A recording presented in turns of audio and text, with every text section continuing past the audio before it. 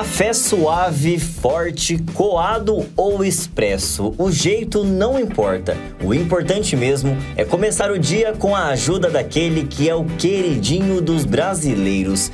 O café é tão apreciado que, mesmo com a crise econômica causada pela pandemia, registrou aumento no consumo. O crescimento em todo o país foi de quase 2% em 2021. O Brasil é o segundo maior consumidor global do café, com mais de 21 milhões de sacas de 60 quilos no último ano.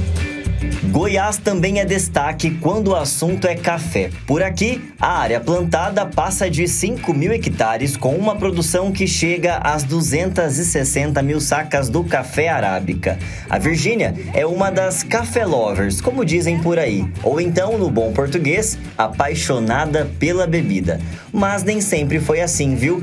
Quem conhece ela hoje nem imagina que até completar os 33 anos, a empresária sequer gostava de café. Formada em tecnologia de alimentos, foi há mais ou menos cinco anos que a paixão começou. Eu fui fazer um estágio em Piracicaba e meu orientador e minha amiga que me recebeu na casa dela eram apaixonados por café. Mas eu não gostava e eles ficavam insistindo: como que você não gosta de café? Eu falei: gente, café é uma coisa amarga, ruim. Eles: não, isso não é verdade. Café não é assim, não. Café bom tem café bom e tem café ruim e ficaram insistindo. Acabou que me levaram para a cafeteria, minha amiga comprou café para me servir todo dia de manhã e eu descobri que tinha café diferente daquele que a gente tinha costume aqui, que a minha mãe fazia, que era aquele café bem preto, que fervia, passava no coador com aquele quilo de açúcar e que ficava ainda aquele amargo residual na boca. Então a gente foi, conheci isso e voltei de Piracicaba apaixonada por café. De volta a Goiás, a empresária não parou de procurar informações sobre a bebida. Livros, internet, pesquisas, até chegar a uma pós-graduação na área do café. E foi ali que tudo mudou. Eu estudei um pouquinho mais sobre as variedades, as qualidades, os processos e apaixonei e nesse mundo eu envolvi. E logo depois eu resolvi abrir uma cafeteria onde eu fiz um pouquinho mais ainda para poder estar tá servindo e apresentar um café de qualidade para o pessoal da região. O forte da Virgínia é justamente o café puro. Ele é saboroso e tem um aroma inconfundível. Esse café comum do dia a dia que a gente encontra com mais facilidade no mercado, que tem um preço mais acessível, é um café que tem algumas impurezas, mas essa impureza é permitida por uma legislação. Eles torram muito esse café para mascarar esses sabor do milho, da soja, que é adicionado junto, porque isso rende, isso, o custo fica melhor para o produtor. O café comum do mercado, quando você toma, você fica com aquele amargo residual da boca. Esse café especial, esse café puro, quando você toma uma bebida limpa, você, você vai ter várias notas. Você vai ter uma nota dependendo do grão, se é um bourbon amarelo, se é um catuaí, se é um bourbon vermelho, se é um arara, sem ter adição de nenhum desses ingredientes. É só o método mesmo e o grão que faz isso. Lembra no começo desta matéria a imagem da Virgínia acompanhando de perto a produção de cafés? Pois é, olha só estas outras imagens. É que parte do trabalho, que já se tornou diversão, inclui visitas a fazendas de produção do grão. Muito conhecimento que ela compartilha, é claro, com um sorriso no rosto. Eu sempre brinco com meu, com meu esposo, eu quero é trabalhar só viajando, conhecendo fazenda só trazendo novidades, só passeando, conhecendo, porque é muito bacana, é muito bonito. E quem trabalha com café na fazenda, eles têm paixão. Eles estão todos ali, eles estão assim, é, quando eles tomam aquela xícara de café que ele plantou, que o outro colheu, que o outro secou, você vê o prazer que eles têm. Não é um trabalho qualquer. Pessoal, e para que o café fique com aquele sabor puro que a gente tanto falou nesta reportagem, os métodos de filtragem são muito importantes e fazem toda a diferença. Por isso a Virgínia já preparou aqui pra gente uma mesa, porque Virgínia, a gente vai ensinar alguns métodos para que o pessoal faça em casa um café puro e muito saboroso, né? Com certeza. E me fala uma coisa, o primeiro método que você vai ensinar pra gente então, qual que é ele? Esse é um método, ele é um V60, um rário. A gente pede o pessoal conhecido como rário, que é um método japonês. Então eu vou começar explicando para você, Gabriel, para vocês aprenderem. É, o que faz a qualidade? Parece que não, mas essa escaldagem do filtro de papel é muito importante, porque nesse momento aqui a gente vai duas coisas vão acontecer. Se você vai tirar o residual de celulose, do sabor do papel, e a segunda coisa, você vai aquecer o recipiente onde você vai receber o café. É, na cafeteria, como a gente tem que ter um padrão para a gente estar tá sempre com a mesma qualidade de café, a gente usa a balança. Mas em casa, a pessoa que não tem uma balança, ela pode padronizar o seu paladar. Como lá em casa e muitos clientes meus, eu ensino sempre faz uma colher de sopa bem cheia de café para um copo raso de água de copo americano. Gente, e tenho certeza que todo esse processo faz muita diferença no final, né, Virgínia? Com certeza. Agora aqui, esse aqui, a gente já tem um bule gotejador. O que, que faz a diferença desse bule? Ele não vai cair água de uma vez, o pó não vai esparramar para todo lado, ele vai ter um padrão. Nem se você quiser, porque esse bico gotejador, ele faz isso aqui, ó, leve devagar, o fluxo é lento. Então você coloca uma quantidade, aguarda um minutinho e finaliza seu café.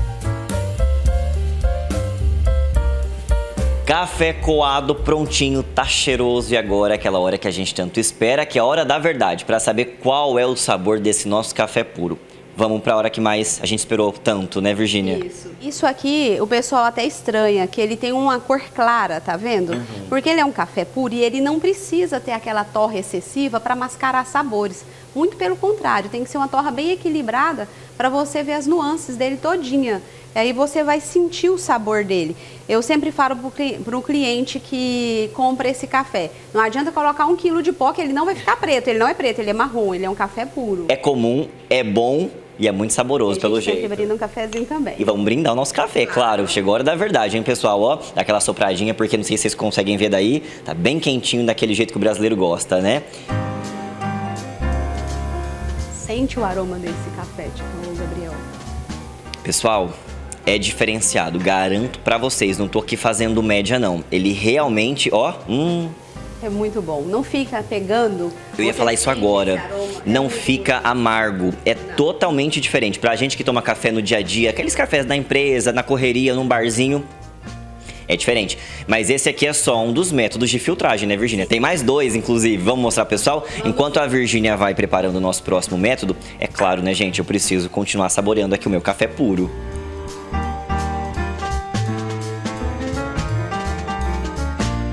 Segundo o método de filtragem, agora a Virgínia vai contar pra gente primeiro qual que é esse método e o que, que difere ele daquele que a gente fez agora há pouco. Esse método chama Clever. Esse método é um método inteligente que eles falam. Por quê?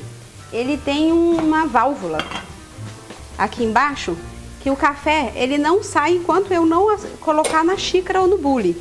Então ele fica aqui em infusão. O que, que acontece quando ele fica mais tempo em infusão? Ele extrai um pouco mais dos aromas e principalmente a cafeína. O contrário do pessoal, todo mundo chega assim, nossa Virgínia, hoje eu preciso de um café bem forte, assim que eu preciso ficar ligado, me dá um expresso. Errado. Porque o expresso é o café que tem menos cafeína. Porque o que extrai a cafeína do café é o tempo de contato da água com o pó. Então, quanto mais tempo ele ficar em fusão, mais cafeína ele vai extrair.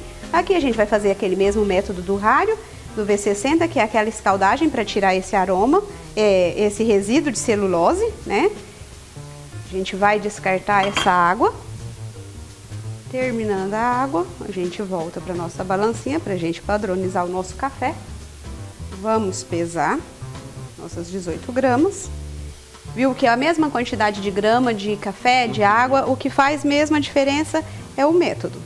Agora aqui nós vamos para a água, vamos fazer aquela infusão da mesma forma, que é para extrair um pouco mais os aromas. Pronto. Vamos deixar alguns segundos aqui.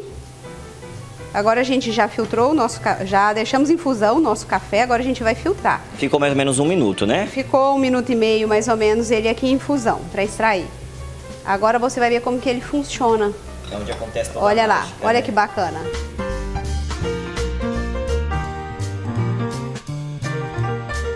De fato, pessoal que olha em casa, a textura, né, a cor dele é diferente, né? É diferente. Agora aqui a gente tira, ele para. Então, é como eu te disse, tem clientes que gostam de deixar que aqui ele mantém um pouquinho mais quente às vezes, tal. E vai. Agora e a hora da verdade aqui agora que eu vou ter que experimentar. Uma coisa muito difícil, né, Virgínia? Que a gente tem que experimentar um café, uma hora dessa. Muito difícil, mas a gente experimenta, viu? Eu faço esse esforço. Com certeza. Eu fico na dúvida qual que é mais gostoso, porque todos são bons. A gente fala assim, ó, eu provei o primeiro, eu falei, nossa, muito gostoso, difícil superar esse daqui. Não, não é difícil superar, não. A gente, é nossa, é muito todos bom. Todos são muito bons. Muito bom, pessoal. Esse foi mais um método. Temos o terceiro e último agora, né, Virgínia? Qual que é esse terceiro Nós e último? Nós vamos preparar agora, vamos organizar para fazer a prensa francesa, que é um método que não tem filtro de tecido e nem de papel. Ele é esse êmbolo, entendeu? Então, ele dá uma bebida mais turva, um sabor menos limpo, mas com as suas é, tem é as especial também, as suas particularidades. Tem alguns segredos para fazer, com certeza. Sim, temos também. Já vou mostrar para vocês. Ótimo. Bora pro terceiro método então. A gente começa também escaldando, porque ah, não tem papel, vamos escaldar, mas vamos aquecer para o nosso café. Como ele é um, um método que vai ficar 4 minutos em infusão, então a gente tem que aquecer para o café ficar quentinho para não perder a temperatura. Isso faz com que o café ele fique um pouco mais encorpado neste método ou não muda? Ele fica com um pouco mais de corpo pelo fato é, de não ter a filtragem de papel. Então eu, vou, eu falo que é uma bebida menos limpa. É, não em questão de limpeza, né? Assim, menos. Você vai sentir ele turvo. Uma bebida que você sente ele mais no seu paladar. E como nas outras, a gente faz essa pré-infusão. 15 segundinhos a gente já completa a nossa quantidade. Aqui esse nosso café, nessa, nesse método aí de filtragem, ele fica por quanto tempo? Quatro minutos. Isso vai ser o café cafeinado mesmo. Ele vai extrair bastante a cafeína. Você vai ver que o pó dele, ele subiu, ele vai ficar aqui. Aí depois a gente desce esse êmbolo e, e filtra o café. Andar café eu vou, café não costuma falhar. Andar café eu vou, dessa vez, pessoal, uma coisa muito difícil, acompanhamento aqui de um pãozinho de queijo. Não tem quem não goste, pessoal, de um café que com certeza... Hum, não, o cheiro desse aqui Tá diferente. É diferente, é né? É diferente. Ele é mais, parece que tem mais aroma, né? É, ele tem mais aroma. É por causa do tempo de infusão? Sim. Agora chegou a hora. ficou diferente a cor Ficou, dele. pessoal. Vou pedir pro Thiago chegar mais próximo aqui. Thiago, dá uma olhadinha um pouquinho mais turvo. Ele, tem um, ele é um pouco mais encorpado, né? Sim. E chegou a hora que a gente estava querendo pela terceira vez se dar bem nessa matéria. Bom, o que eu acho mais engraçado, até comentei com a Virgínia há pouco, não tem açúcar, porque ele não precisa de açúcar, e não é amargo, gente. Foram três é, métodos de filtragem diferentes, três cafés sem açúcar, e que em nenhum momento eu senti a boca amarga, aquele negócio, nossa, tá faltando, tá faltando açúcar por aqui. Pelo contrário, não tá faltando nada, nada. por aqui. E quando você respira, depois que você toma, e você fica com aquele aroma muito gostoso. Não dá vontade de tomar água, sair correndo e limpar o paladar. Você quer ficar com ele no paladar. Essa foi a Virgínia. Virgínia, obrigado pela sua entrevista. Uma entrevista não, obrigado pela sua aula, uma verdadeira aula sobre cafés puros.